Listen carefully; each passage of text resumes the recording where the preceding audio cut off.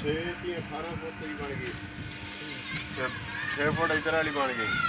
24 ਫੁੱਟ ਬਣ ਗਈ ਹੈ ਇਹ ਜਿਹੜੀ ਆ ਮਕਸਦਾ ਹੈਗੀ ਆ 2 ਫੁੱਟ ਛੋਟੀ ਆ।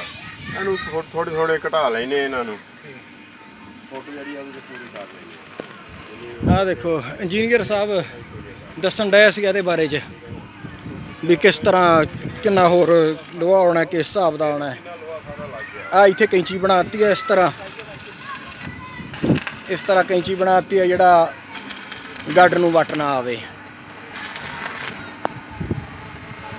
ਤੇ ਆ ਤਕਰੀਬਨ ਮੁਕੰਮਲ ਹੋ ਗਿਆ। ਇਹ ਤਕਰੀਬਨ ਹੈਗਾ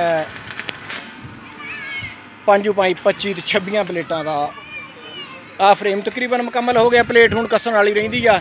ਇੱਕ ਉਹ ਸਿਰੇ ਤੇ ਸਪੋਰਟ ਲਾਉਣ ਵਾਲੀ ਰਹਿੰਦੀ ਆ। ਬਾਕੀ ਇਹਦਾ ਕੰਮ ਮੁਕੰਮਲ ਆ।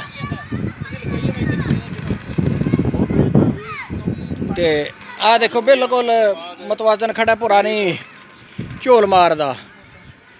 ਆ ਦੇਖੋ।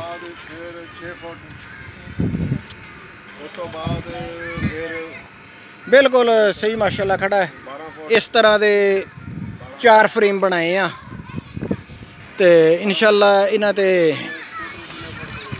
25 ਪਲੇਟਾਂ ਦਾ ਇੱਕ ਆ ਤੇ 25 ਚੌਕੇ 100 ਪਲੇਟ ਇੱਥੇ ਲਾਉਣੀ ਹੈ। ਇੱਕ ਉਹ ਟੂ ਟਰਬਾਈਨ ਚੱਲਣ ਡਈ ਆ, ਉਹ ਸੋਲਰ ਤੇ ਕਰਨੀ ਆ। ਇੱਕ ਉਹ ਕੋਠੀ ਕੋਲ ਬੋਰ ਟਕਿਆ ਉਹ ਖਜੂਰਾਂ ਕੋਲ।